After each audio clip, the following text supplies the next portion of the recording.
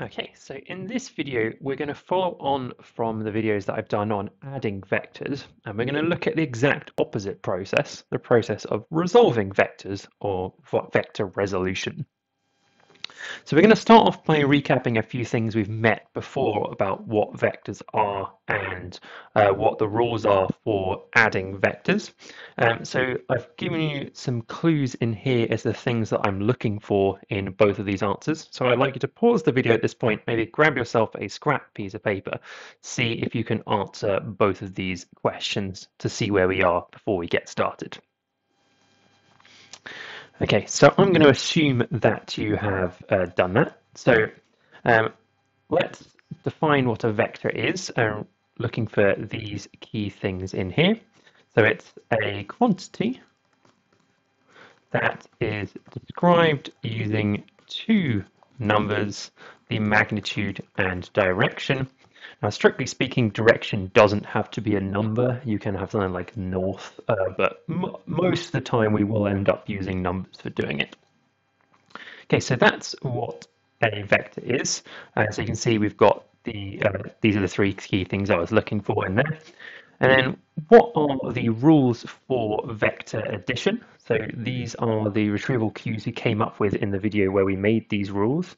Um, so to add vectors together, the first thing we need to do is uh, arrange the vectors tip to tail. And we can do that in any order, it doesn't matter. I tend to put the biggest one first and then the ones following that, especially if I'm doing scale diagrams because it makes things fit a little bit better. And then we uh, need to uh, choose a scale uh, and draw the vectors. So these two basically are going to happen simultaneously because you can't really do one without the other. And then the third thing we then do is draw a resultant from the start to the end there. So that would be our third stage there. And then if we're doing a scale diagram, we can measure the length of that resultant and the angle of that resultant. Or if we're going to do what we're going to move on to look at, we can use that diagram and some trigonometry and some Pythagoras to figure out the size of the resultant. Okay, so those are things we've met before. So let's get straight into vector resolution. So let's start off by talking about what resolution or resolving actually is. So this is something I think it's worth us adding to our notes. So that's why I've put it in purple. So essentially resolution is the opposite of adding vectors. So it's the process of taking one vector and representing it with two or more vectors. So we're going to do this, been doing this in 2D. So we're going to take one vector and turn it into two.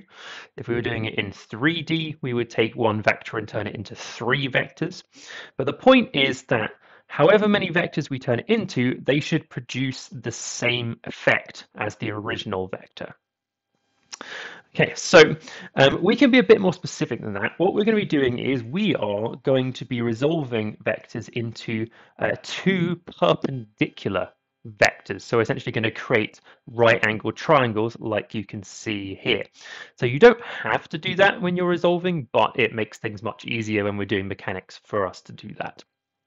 So just to show you what this will look like. So let's say this black one is our original vector going from start to end we're going to essentially turn that into two perpendicular vectors, like you can see here, which essentially will take us to the in, in this to the same point. So it that also takes us from start to end as well. So it has the same effect.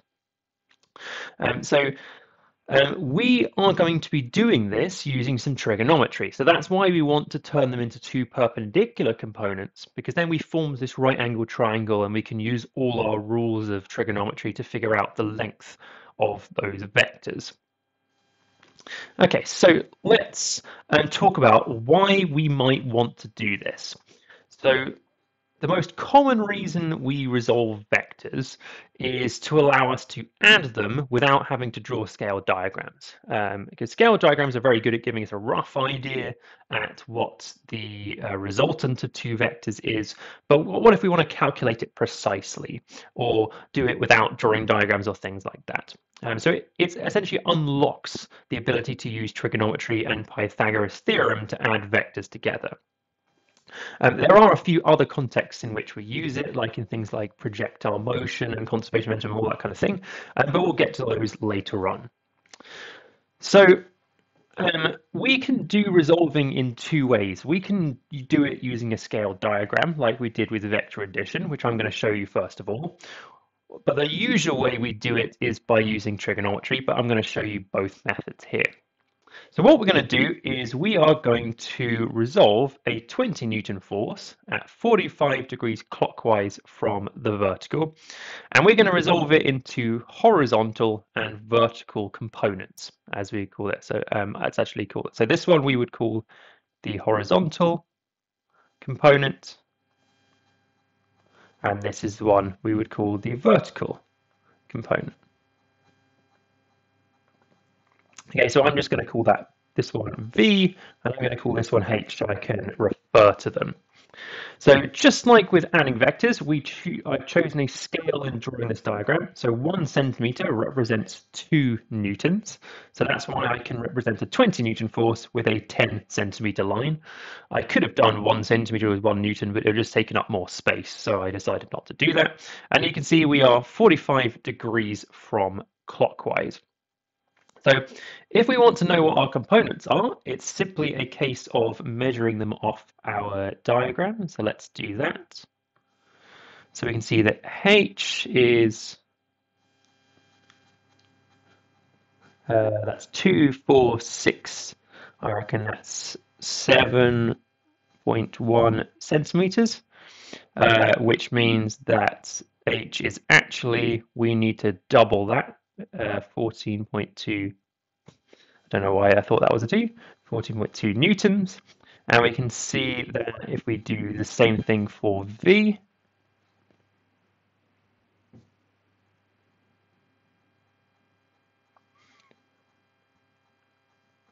Okay, so we've got, shuffle that ruler down a little bit, two, four, six, six uh, that's what, seven, 0.0 centimeters, which means that V is actually 14 newtons in there.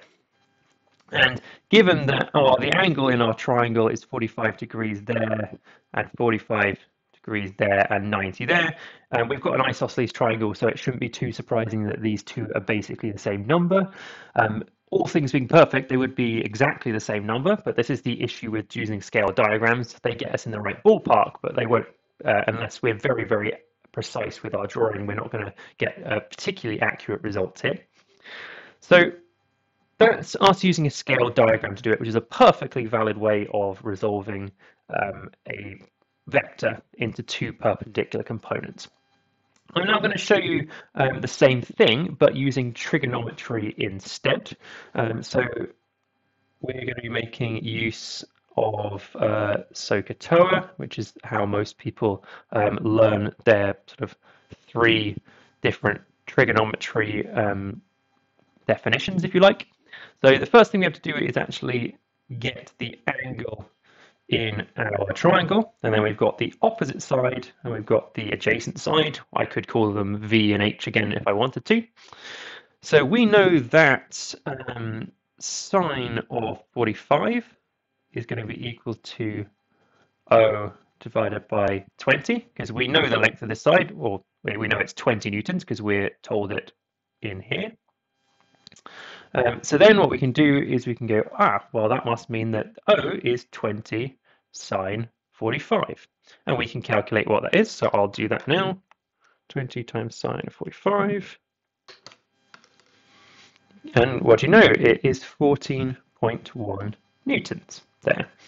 So let's do the same thing. So we know that cosine of 45 is equal to the adjacent side over the hypotenuse, hypotenuse being 20.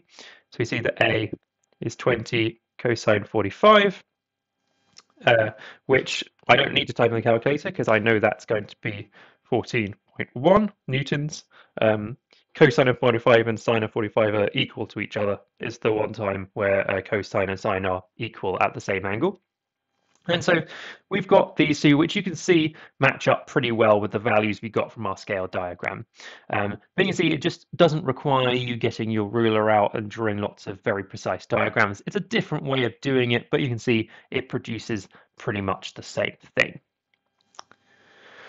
Okay, so um, at this point, what we're going to do is um, I'm going to give you a chance to have a crack at this, and we're going to solve the same question using a scale diagram and also using trigonometry, because I think it's important that we can do both.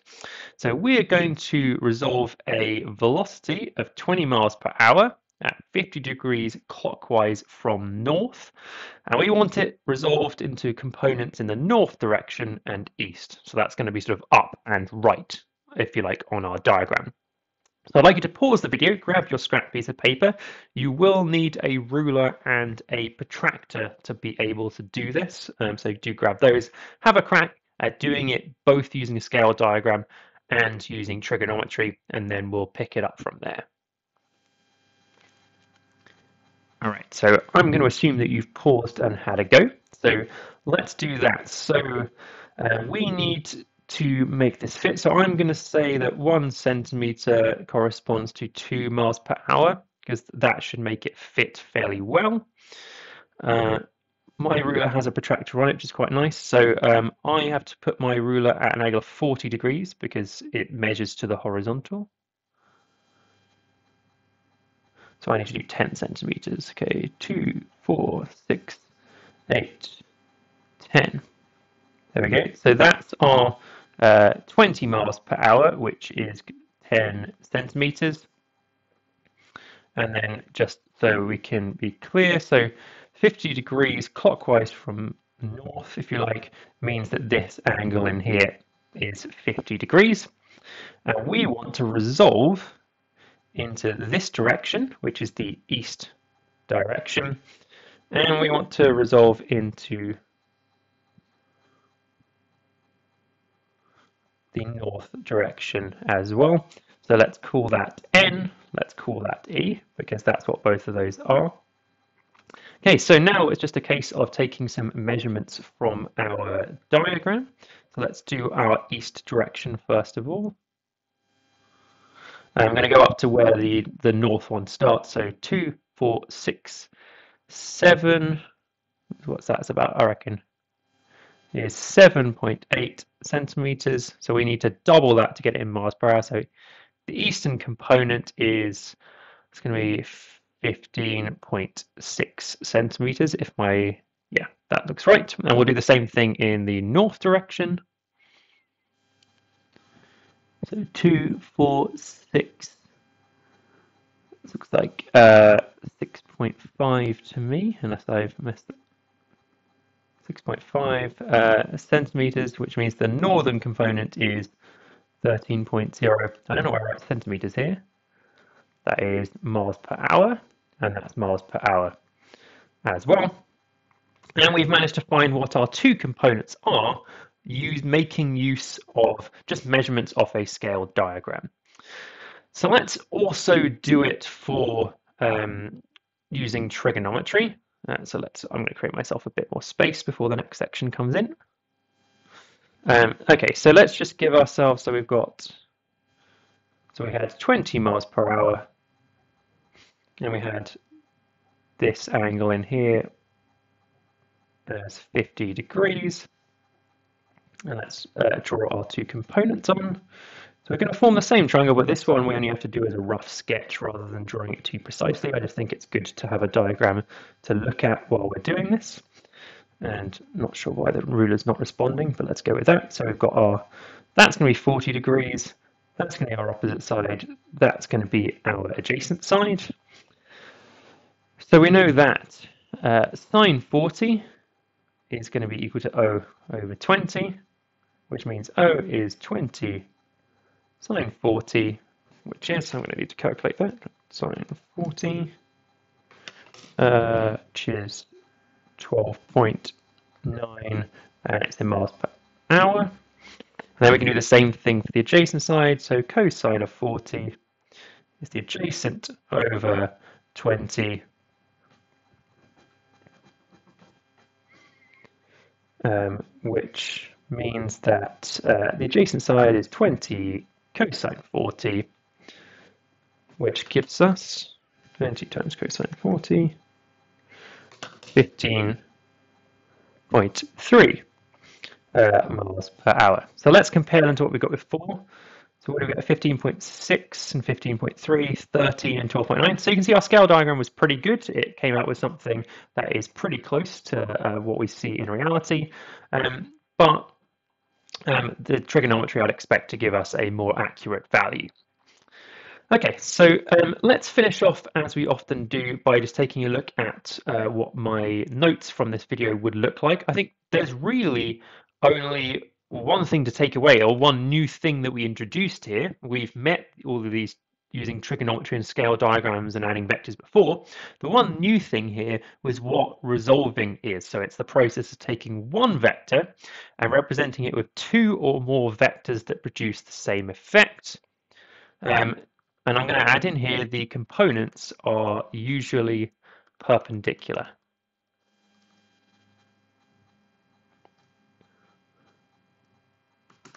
to each other and the reason why is that then forms a right angle triangle for us to do trigonometry with. That's why we want that. And so you can see I've turned that into this. So um, this is my uh, the thing I'm trying to remember. So turning one vector into multiple vectors. So resolution, we take one vector and we turn it into two or more vectors that have the same effect as the original vector. That's the only new thing that we need to make sure we remember here. Okay, so that finishes this video. So what I'm going to do next is we're going to go back to adding vectors, but we're going to use this new tool that we've got so I can show you how to add vectors without drawing scale diagrams, and we can do it using trigonometry and Pythagoras instead.